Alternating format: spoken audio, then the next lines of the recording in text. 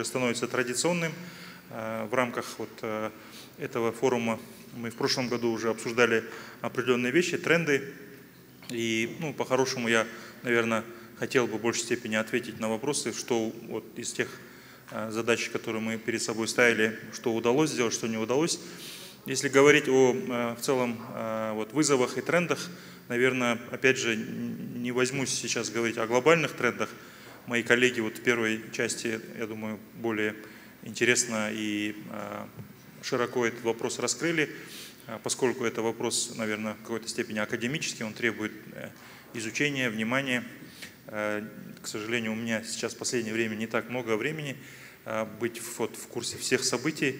В целом, я хочу сказать, что вот текущие, скажем, вызовы и проблемы э, казахстанской системы здравоохранения, они в целом находятся как бы вот а, э, в рамках неких глобальных вызовов, и он, в принципе, на мой взгляд, если так сказать, макро за последние годы сильно не поменялся, то есть как обеспечить всеобщую доступность медицинских услуг в условиях дефицита финансовых средств, а именно растущие, безусловно, затраты и стоимость э, этих услуг, они, э, рост, точнее, их опережает э, возможности государств, как богатых, так тем более стран бедных. Казахстан, который относится, как вы знаете, к странам, скажем так, со средним доходом на душу населения и ВВП, конечно, он испытывает эти сложности. То есть, с одной стороны, мы видим все больше и больше так сказать, гонку вооружений, технологий в секторе, и э, в связи с этим, и связанные с этим э, потребности, я думаю, не стоит говорить о том, что структура населения меняется, и больше потребления э, этих услуг более дорогостоящих, в частности, онкология. И мы сталкиваемся вот с этим в большей степени политическим, социальным и экономическим вызовом. Правительство Республики Казахстан как обеспечить вот эту вот доступность э, услуг. И вот буквально пару недель назад э, в Нью-Йорке в рамках Генеральной Ассамблеи ООН была очень интересная дискуссия. Главы государств выступали, а руководители правительства о том, как обеспечить вот этот так называемый Universal Health Coverage, как сделать всеобщее покрытие услугами здравоохранения. Ну и здесь, опять же, все достаточно как бы прозаично, э, либо широкий охват, то есть измеряется он как бы в трех измерениях – а, в том числе в ширину, как можно больше людей охватить. А, все стараются как можно больше людей охватить, там, все население. А, как можно глубже охватить, имеется в виду в части объема покрытия финансового. И в третьем измерении это, конечно, содержательно, какими видами услуг охватывать, на что делать приоритеты. Здесь э, тренды тренды разные и рекомендаций очень много, я не хочу об, об, о них о всех говорить. А, принята декларация, э, это UNGA, United Nations General Assembly, так называемая а, декларация по всеобщему охвату, и там есть как бы такие рекомендации, что ли, странам, как двигаться. Вот. Мы в своих стратегиях, разумеется, Э, смотрим и на глобальные тренды, и, конечно, смотрим, что у нас а, непосредственно, как говорится, под носом, те проблемы, которые есть в Казахстане. Э, ну, здесь, наверное, интересная ситуация. Э, мы завершаем определенный этап развития в этом году госпрограмму Денсаулук 16-19 года и переходим в новую стадию. И, наверное, основным, наверное, вот этим как бы, гранью между вот, текущим этапом. И следующим станет э, внедрение новой системы, э, системы медицинского страхования. То есть дальнейшие, уже дальнейшие планы и дальнейшие э, вот, задачи по решению насущных, долгосрочных проблем необходимо выстраивать из того, что вот как она, новая система, будет дальше модифицироваться, развиваться. Наша команда ставила себе задачу вот довести этот этап до конца, внедрить этот новый подход. По сути, а, что оно, оно представляет собой достаточно так сказать, важную и серьезную реструктуризацию внутри системы, которая позволит уже а, создать новые условия, в том числе устойчивость для решения других не менее важных проблем. А, в целом, если говорить о наибольших, наверное, основных вызовах Эльдар мне прислал там некоторые возможные, так сказать, вопросы. Наверное, я бы определил, как сегодняшний руководитель министерства, два вызова, две основные, как бы такие challenging фактора. Это качество интеллектуального потенциала в отрасли, качество человеческих ресурсов. Здесь мы имеем на сегодняшний день э, то, что имеем, грубо говоря, и э, понятно, что вот для дальнейших уже качественных преобразований в отрасли, если говорить там какие-то некие структурные реформы мы провели, э, на новые рельсы поставили, теперь нужны качественные преобразования. Без вот, серьезного развития человеческих ресурсов это будет невозможно. Мы создали модель, которая позволит наращивать финансирование, но это не панацея, а, безусловно. Но, по крайней мере, мы будем в некой степени уже более устойчиво и, а, так скажем, обоснованно прогнозировать развитие нашей системы и вот на что мы должны там тратить деньги. В первую очередь вот вопрос качества медицинской помощи и развития человеческих ресурсов. Здесь много факторов. Это и качество услуг непосредственно, это и профессиональный статус, о котором мы в последнее время говорим, а, множество факторов, связанных а, вот, а, с ресурсом. И внутри изменения роли, о которых мы тоже говорили, которые никак не происходит, все это нужно решать, и, и без, без изменений это не двигается. Да? Я бы сказал, что, так, что классическая схема, там, врач, средний медработник, младший медперсонал, даже эта схема требует полностью ревизии и пересмотра в условиях очень серьезной трансформации технологических функций. Э, цифровизация здравоохранения, которая идет э, везде, во всем мире, и у нас в Казахстане, она очень серьезно влияет на распределение ролей. Э, второй фактор, который я бы назвал, опять же, это качество человеческих ресурсов. Как ни странно, но здесь я бы хотел сказать о качестве человеческих ресурсов в целом в стране и в экономике.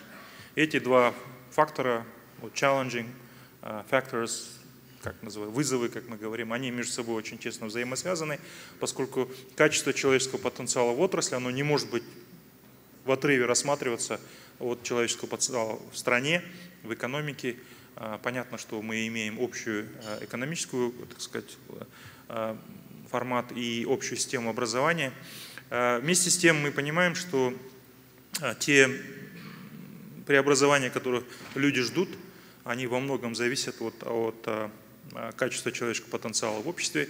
Это и э, способность, э, скажем так, генерировать и развивать экономику, генерировать инновационные решения в экономике, поскольку мы привязали будущее своего здравоохранения к экономике, к взносам в систему здравоохранения с фондов оплаты труда с экономики. Теперь, чем лучше мы будем работать, как нация, как семья, тем больше мы сможем а, позволять себе тратить на социальные программы, на образование, на здравоохранение. А, сегодня а, мы достаточно ограничены в этом. Но если, соответственно, в этой части будущее Казахстана будет более конкурентоспособным, скажем, средний казахстанец станет более амбициозным, более образованным, более здоровым, и Казахстан как нация будет много зарабатывать, конечно, мы можем себе позволить то здравоохранение, которое хотим. Сегодня мы себе его не можем позволить. И вот эти два фактора между собой связаны, поскольку и качество человеческого потенциала зависит от э, того, как работает внутри система, э, и система зависит от э, общего глобального э, человеческого потенциала в отрасли. Но если опуститься как бы уже на землю, мы э, сейчас ну, по сути, завершаем программу наших действий на следующие пятилетие. Э, мы в основном привлекли к разработке этой программы как раз-таки э, новое поколение э, управленцев, специалистов, экспертов в области общественного здравоохранения. В основном работы шли на базе Республиканского центра развития здравоохранения. То есть не Министерство здравоохранения разрабатывало эту программу, мы как раз-таки дали возможность активного обсуждения и э, сбора пожеланий и так далее, и так далее. Но все-таки тем людям, которые будут реализовывать э, эту программу в следующие 5-6 лет, э, поэтому там немного другие акценты. Для нас важно, чтобы вот скажем так, вот в ближайшие 6 месяцев несколько вещей сделать. Да? Зайти в систему медицинского страхования, точнее 9 месяцев, утвердить новую государственную программу и принять новый кодекс о развитии нашей системы. То есть это три взаимоувязанных таких шага. И, следующий, и мы перейдем в следующую стадию. Вот мы говорили о, там, о новой, новой крови, новой струе и новом поколении управленцев, менеджеров, патриотов, я бы сказал так, сферы здравоохранения, которым предстоит реализовывать эту новую госпрограмму. В целом акцентов в ней очень много, но вот с точки зрения, возвращаясь к вызовам, мы решили основную основной стержень этой госпрограммы в ближайшие 6 лет – это будет, а, скажем, такой инвестиции а, в детство. Основная канва и основное направление – это будет укрепление системы, а, скажем так, укрепление здоровья детей, если так просто сказать. То есть мы хотим увеличить общий, так сказать, детский бюджет здравоохранения. Он, несомненно, есть такое понятие. И мы сейчас вот хотим а, завершить эти расчеты и посмотреть, а, насколько мы сможем увеличить детский бюджет нашего здравоохранения. Это начиная от, разумеется, планирования семьи, а, укрепления ну, безопасного и качественного родоспоможения и далее те инвестиции, которые необходимо сделать, чтобы на выходе получить вот тот самый качественный и крепкий человеческий потенциал, и поэтому вот я думаю, что это должно быть а, основной конвой следующей госпрограммы. А, кодекс, о котором мы говорим, должен обеспечить вот, так называемый legal framework, то есть нормативное поле, которое обеспечит реализацию этой госпрограммы. Мы старались увязать эти два документа между собой. Система трехуровня система э, финансирования, то есть ГОБМП, ОСМС и ДМС – а, полагаю, обеспечит финансовую устойчивость вот, дальнейшего развития. Ну вот вкратце то, что я хотел сказать. Наверное, все-таки я бы предпочел ответить на вопросы. Спасибо.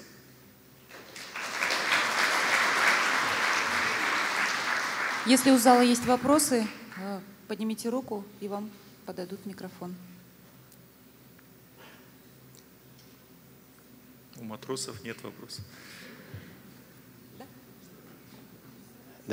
Жена Монтаевич, Ерлан Бурбав, Ассоциация финансистов. Хотел бы спросить, вот в 2017-2018 году активно обсуждались вопросы э, ведения э, гражданской правовой ответственности, страхования гражданской правовой ответственности работников э, медицинской сферы.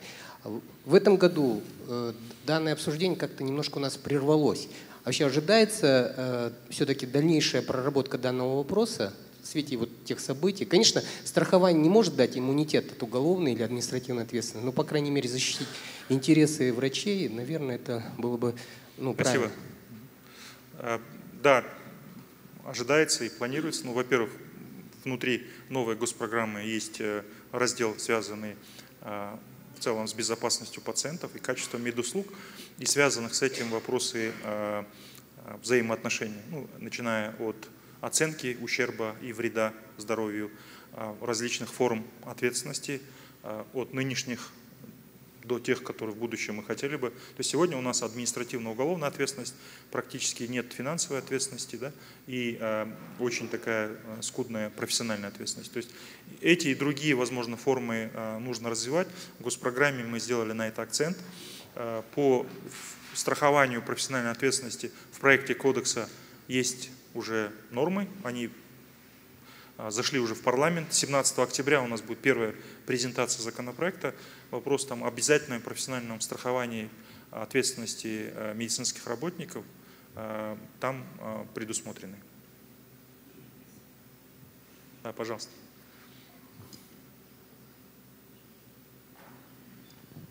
Елжан Апатович, спасибо большое.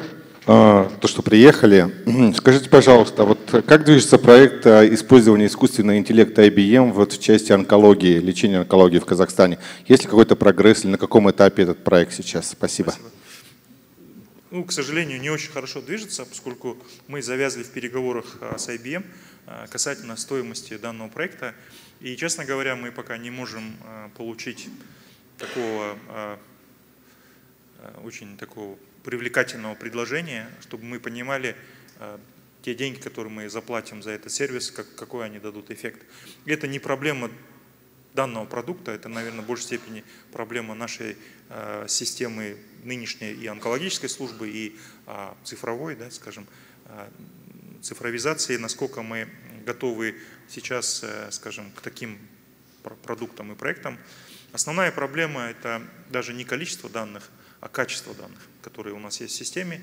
И э, понятно, с учетом того, что э, есть какие-то старые данные, которые мы накапливали в системе, которые представляют собой в основном перекачку бумажных, с бумажных носителей в электронный, и вот эти новые, которые тоже формируются в достаточно таком интенсивном темпе, ну, сложно пока мы, нам говорить, на что мы можем какие-то очень серьезные прорывы сделать в этой сфере. Э, поскольку нужно пройти вот определенную эволюцию стадию. Э, количество данных накапливаемых вот стремительно увеличивается, но нам нужно обеспечить качество этих данных. Поэтому мы решили сейчас акцент сделать, опять же, на, э, как регулятор, обеспечить рамки нормы и стандарты, которые обеспечат качество этих данных. И другие вопросы, связанные с этим. А, соответственно, в новом кодексе один из больших разделов, это касается цифровизации здравоохранения, а, права и обязанности участников системы, в том числе ответственность за качество вводимых данных. То есть, когда мы а, вот в определенной степени будем готовы, конечно, можно вот такие готовые продукты принимать. Но вместе с тем мы открыты и работаем с частным сектором, на другие модели, то есть если есть какие-то интересные инициативы, мы по применению искусственного интеллекта, мы готовы сейчас а, их уже интегрировать. Ну, в большей степени мы хотим создать вот инфраструктуру, а, это вот наше глобальное облако, так называемая платформа интероперабельности и э, вот этот legal framework, это нормативное регулирование. Пожалуйста.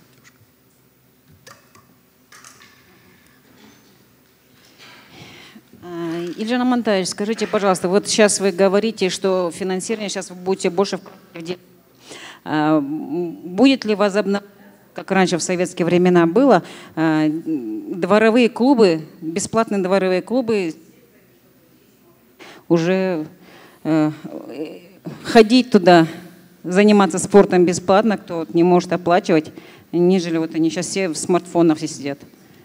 Ну, хороший, но, к сожалению, очень большой вопрос. Да? Э, конечно, это нужно делать, и у нас есть э, в наших планах определенные мероприятия. Э, в частности, в рамках вот развития службы общественного здравоохранения мы например, законодательно закрепили вот необходимость межсекторальном взаимодействии роли местных исполнительных органов и неправительственного сектора, и частного сектора в укреплении здоровья как таковом. Потому что в нынешнем кодексе это было все компетенция Министерства здравоохранения. Теперь мы как бы говорим, что вот акиматы тоже несут свою ответственность, и мы вовлекаем а, частный сектор и неправительственный сектор, один из а, бурно растущих и мощных игроков в секторе здравоохранения, кстати, в Казахстане в том числе. Вот, э, содержательно мы увеличиваем а, финансирование в течение ближайших вот 6 лет на профилактику укрепления здоровья с 4 до 10% от общих расходов здравоохранения. В том числе вот э, финансовые стимулы мы предлагаем по э, субсидированию секции. Э, ну, пока эта норма обсуждается, то есть она, мы планируем ее в проектах бюджета в будущем закладывать. В этом на 2020 год она не поддержана, но, возможно, в 2021 уже будут некие бюджеты выделяться.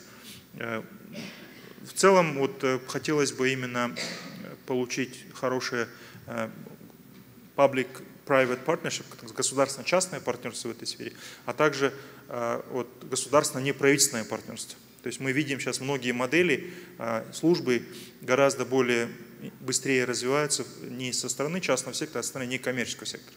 В частности, э, реабилитация, в том числе социальная реабилитация, мы видим, что неправительственные организации гораздо лучше это делают, чем государство. И мы готовы платить за эти услуги, то есть за эти сервисы, и тем самым э, решать эти вопросы. Здесь, наверное, тоже возможны такие механизмы.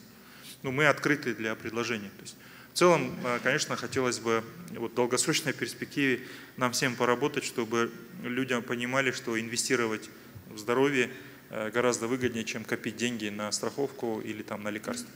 То есть в этой части это уже такая культурная, наверное, проблема, которая существует.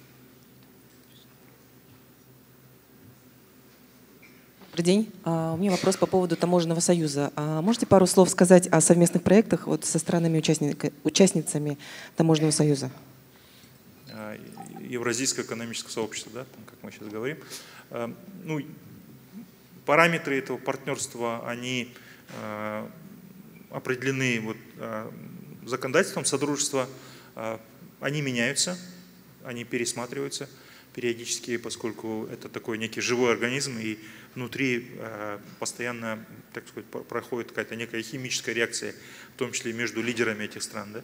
И это влияет на формат. Э, в секторе здравоохранения такого бурного развития, расширения форматов пока нет.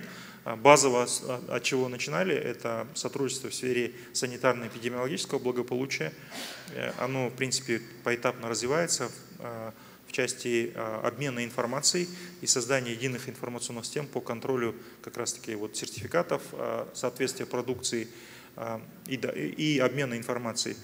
Э, аналогично в сфере фармконтроля. Ну, новеллы, наверное, то, что наконец-то реализована единая система допуска лекарственных средств.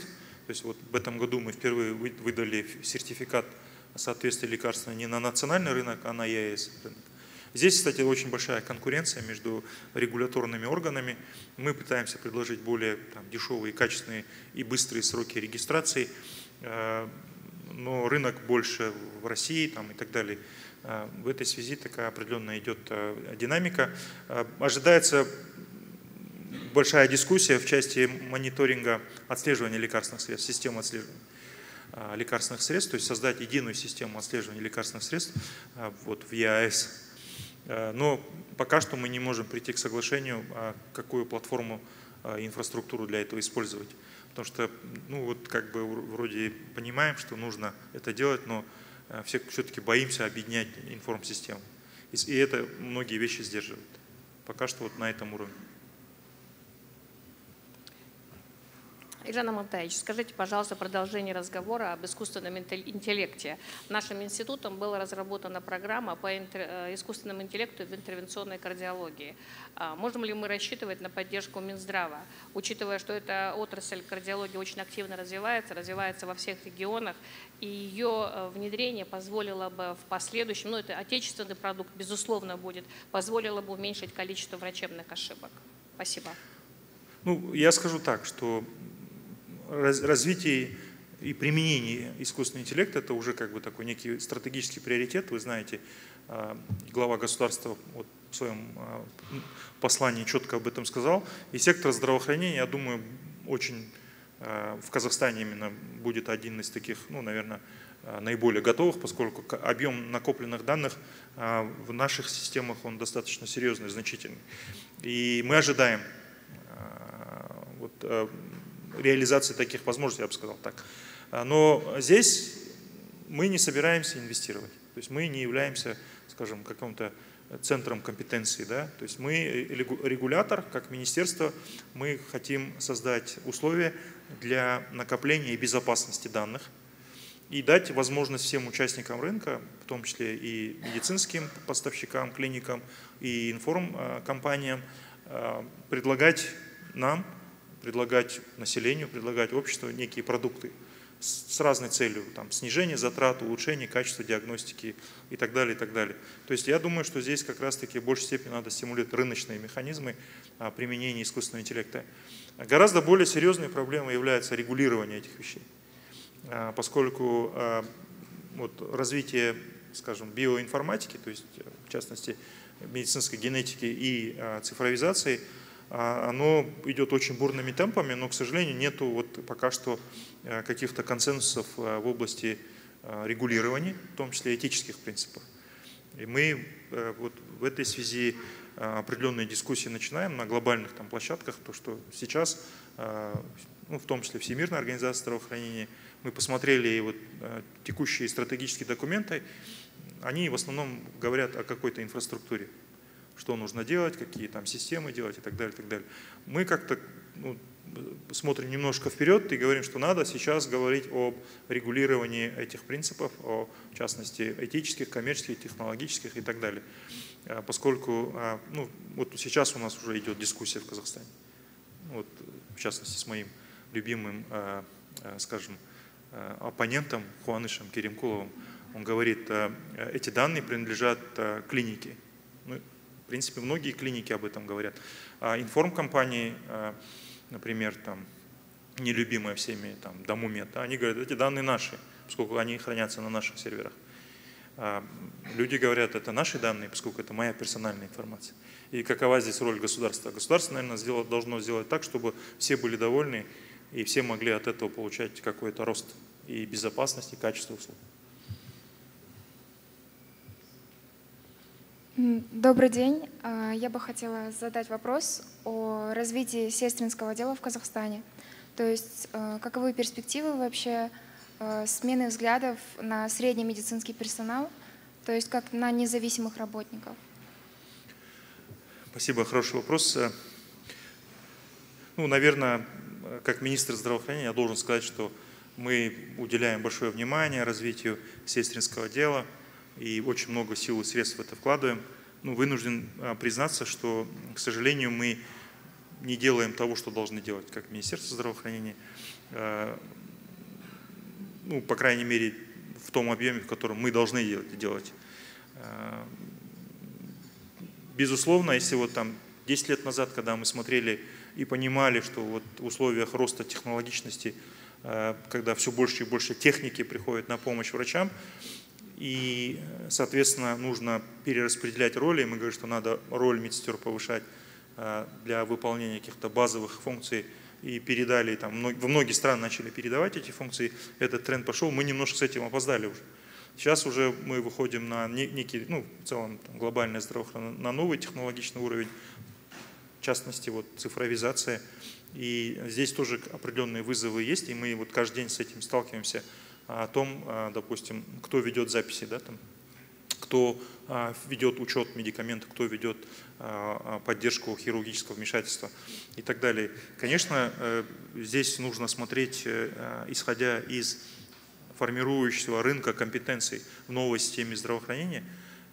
Если мы видим, что здравоохранение трансформируется, то вот ближайшие 5-6 лет, понятно, вот мы хотим перед собой какие-то задачи поставить, как, какие будут компетенции нужны. И уже исходя из этого требования к среднему и младшему и высшему там, скажем, э, персоналу, исходя из образования. Но вот э, мы, мы запаздываем с этим, да, то есть мы как бы пока мы планируем, время быстрее идет. Э, в сфере сестринского образования мы, конечно, программу какую-то для себя утвердили, что мы будем развивать прикладной бакалавриат как наиболее такая прагматичная модель, которая в мире себя доказала, но, наверное, уже она, она очень медленно развивается. Э, и нынешнее состояние сестринского образования, сестринского дела ну, еще ниже, да, там, очень плачевное состояние, к сожалению. И нам нужны какие-то более кардинальные решения. И я призываю всех вот к этой дискуссии, дайте нам предложение, что нам делать. То есть сегодня половина, половина образовательных организаций частные, и где э, в конечном итоге ну, нету конкуренции такой, чтобы как в высшем образовании, э, которое преследует за собой в конечном итоге качественные услуги в секторе. То есть э, сегодня, вот, например, мы видим доля частного сектора среди поставщиков ГБМП, она уже превысила 50%. Вот в этом году она превысила 50%.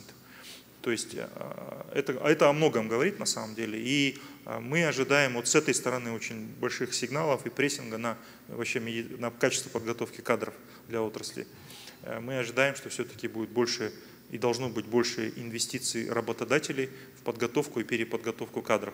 Кстати, в новом кодексе мы закрепили новый э, подход э, к праву медработников на повышение квалификации за счет работодателя.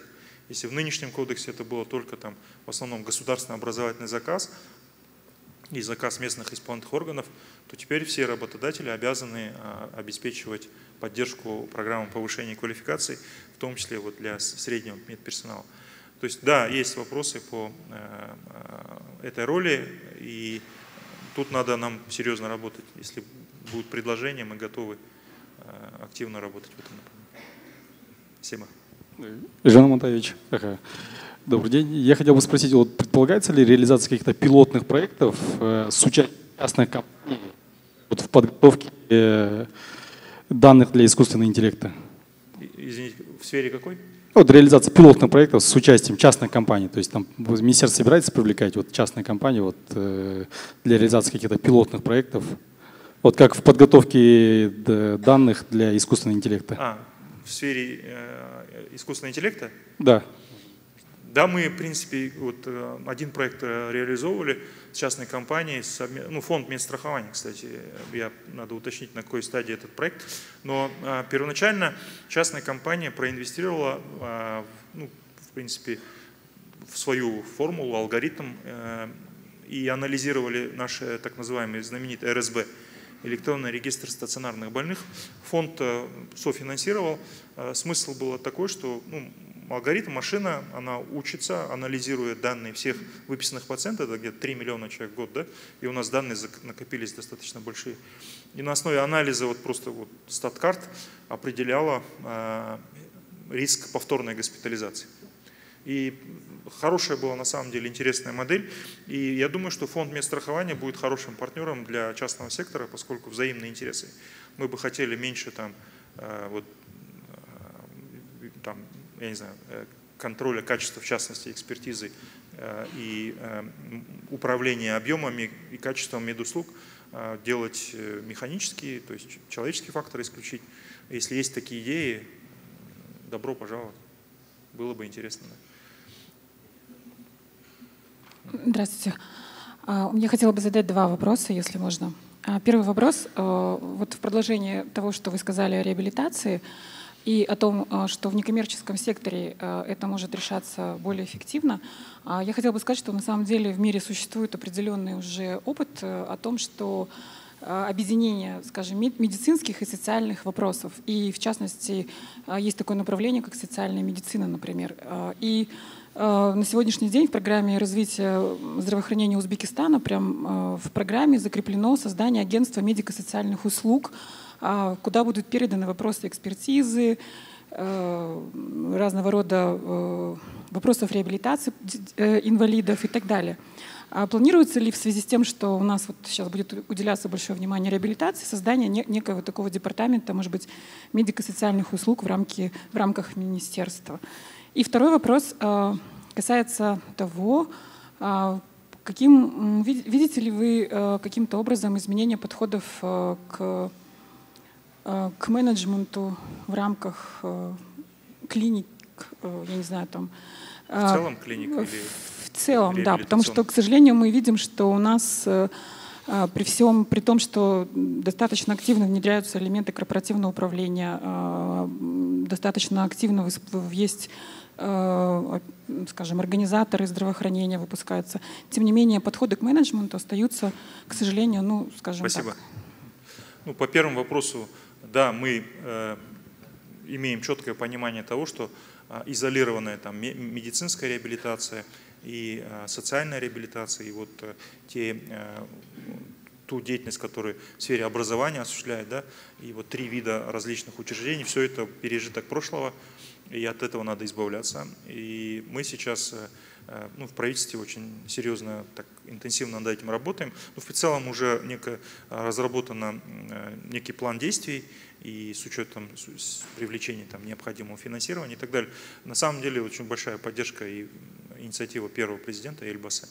Э, и мы начали уже сейчас пытаться понять стандарт вот такой, скажем, интегрированной реабилитации и уходить от принципа там, 21 койко-день. Да? То есть, понятно, есть меди чисто медицинская реабилитация, например, после травмы, она остается там, и мы э, на следующий год будем ее активно развивать. Но вот что касается медико-социальной реабилитации, то полагаем, что надо переходить на вот, центры постоянного пребывания чтобы родители могли там привозить детей или там э, находиться там и вечером забирать, и с ними работали бы и медики, и педагоги, и психологи и так далее.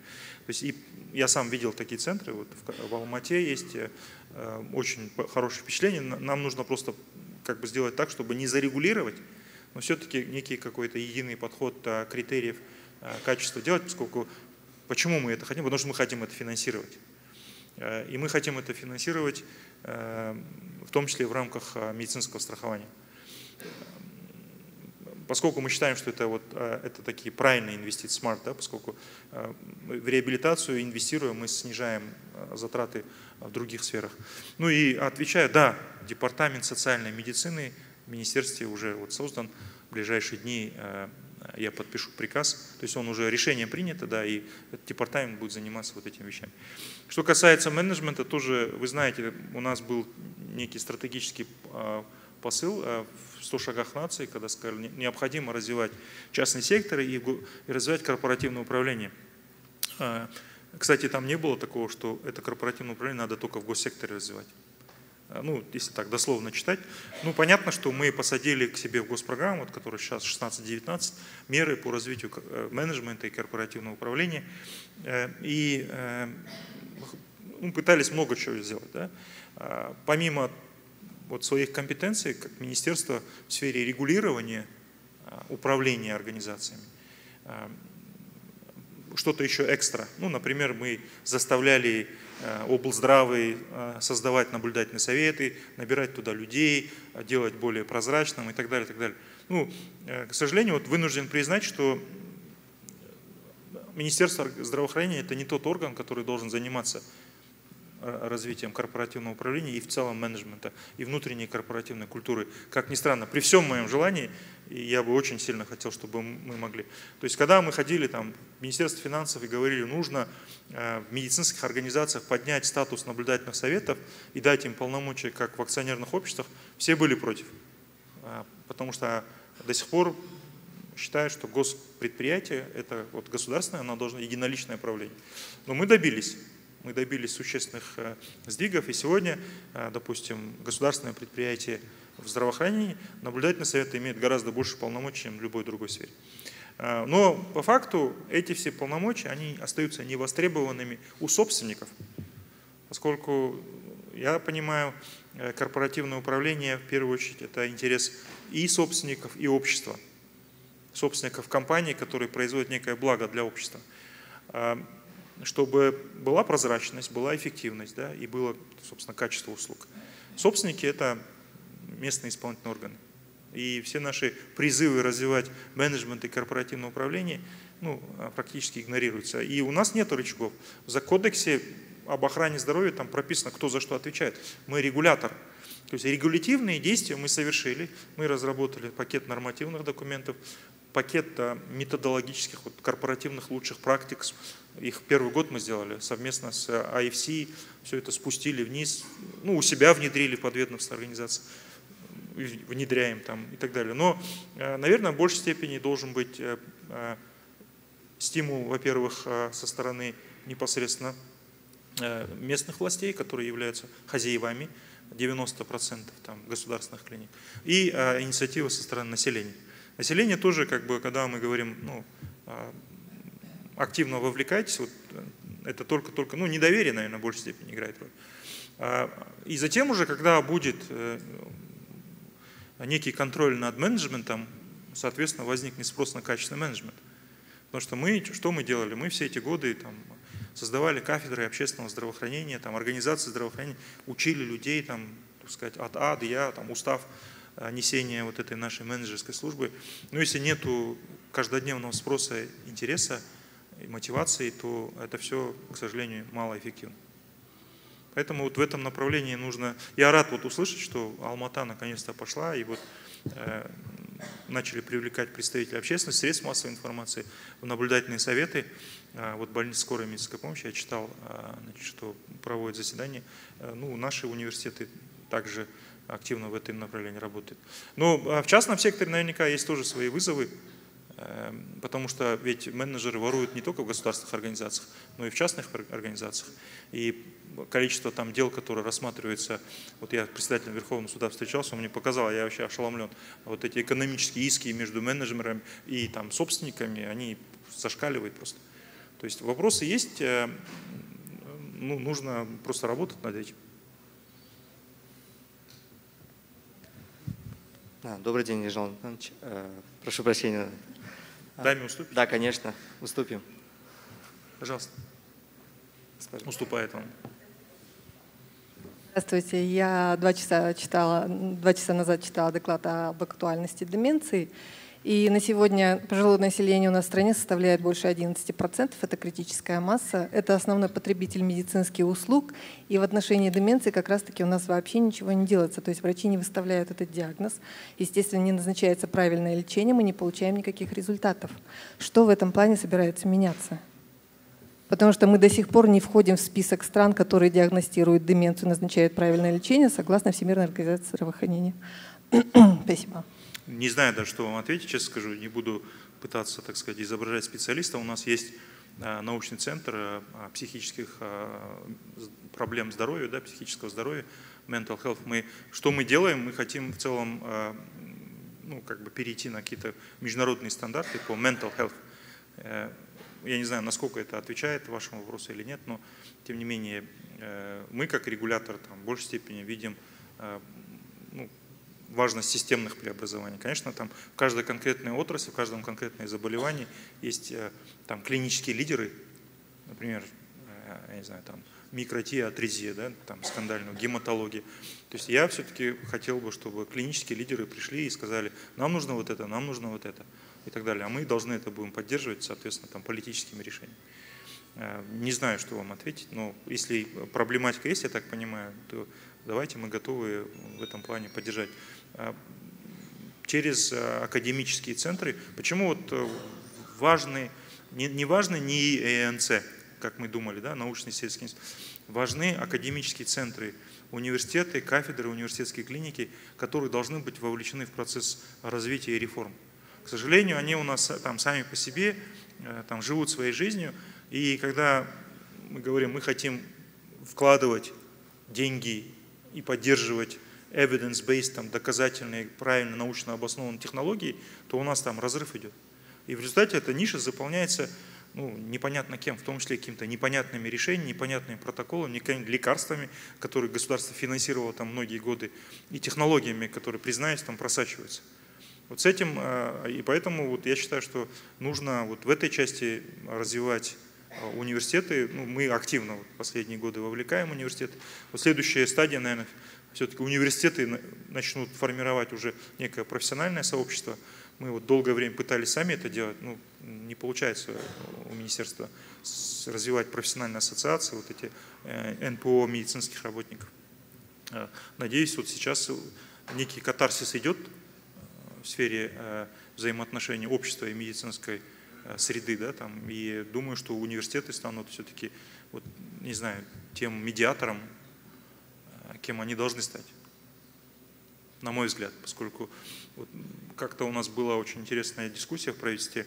Э, э, господин Кажахметов, руководитель гражданского альянса, очень интересную вещь сделал. То есть с точки зрения там, ключевых стейкхолдеров общественного вообще развития устойчивого, мы выпустили, а, а оказывается, что, ну, я не знаю, мне очень эта идея понравилась, что университеты являются одним из, то есть государство то есть правительство, бизнес, да, там население, население, университеты. Роль очень большая должна быть. Извините, пространный ответ, пожалуйста. Да. А, Зафар Вахидов, компания Тева. Это у меня, Нет? видимо, деменция уже начинается.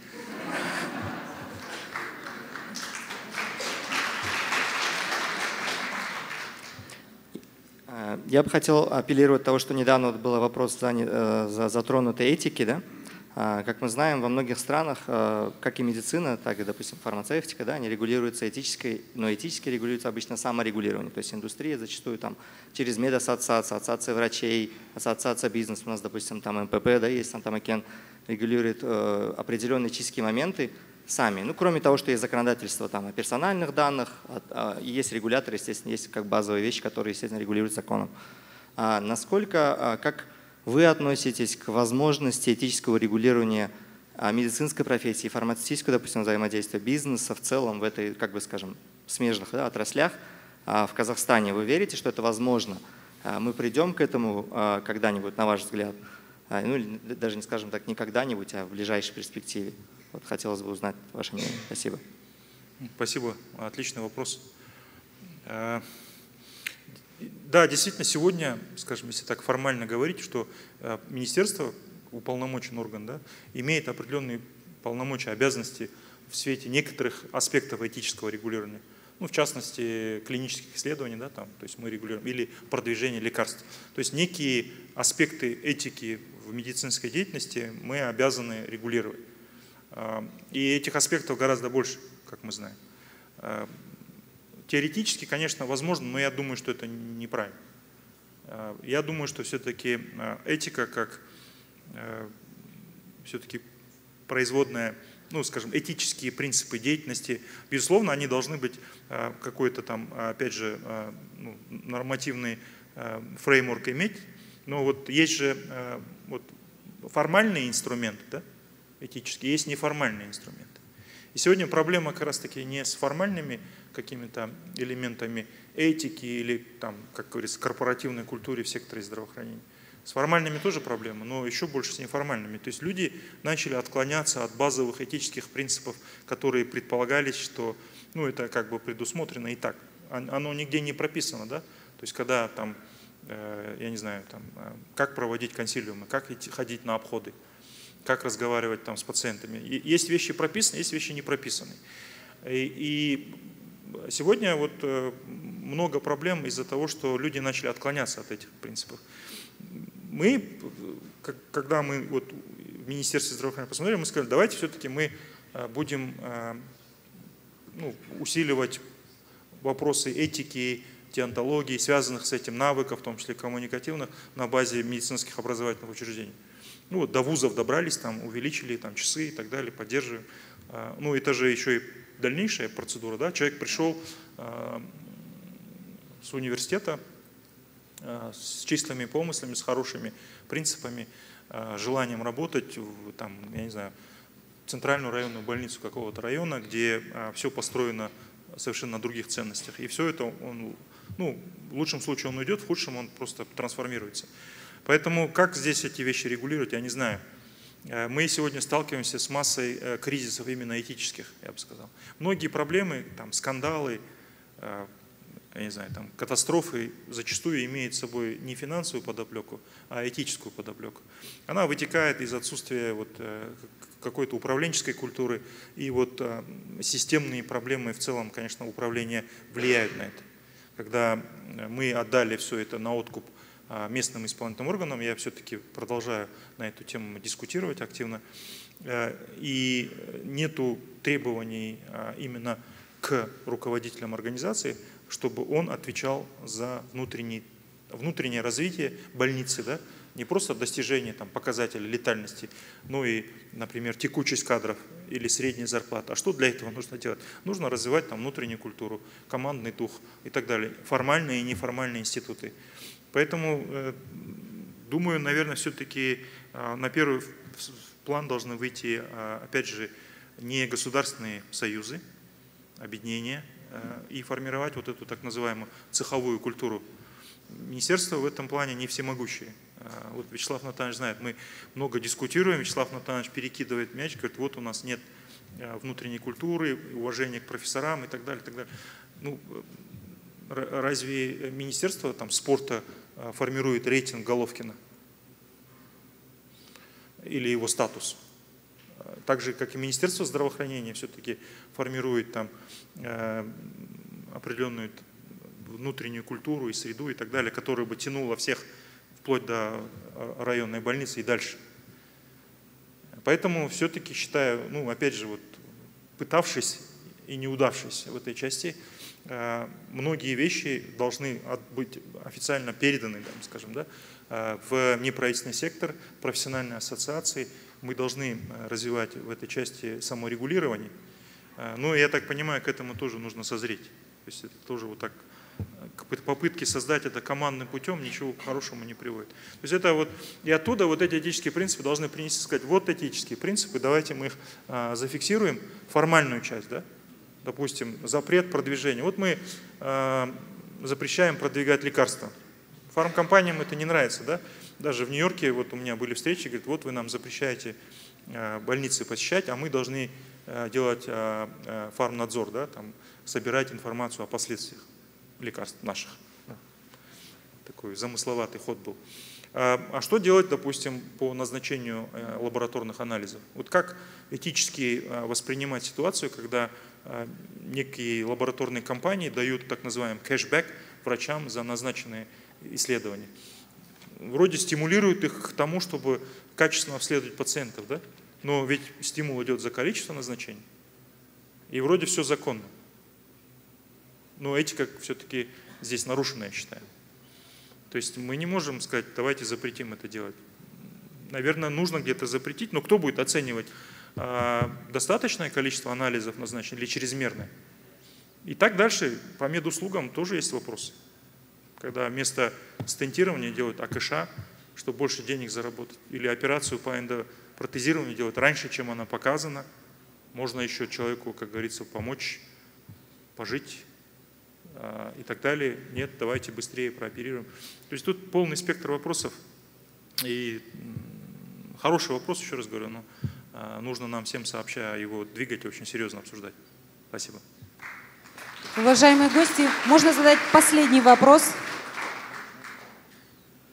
Ильжан Монтаевич, добрый день. А, не могли бы вы поделиться вашей позицией касательно профессиональной ответственности врачей – вот в связи с теми прецедентами, которые сейчас бурно обсуждаются в СМИ. Спасибо. Спасибо. Э, поделюсь.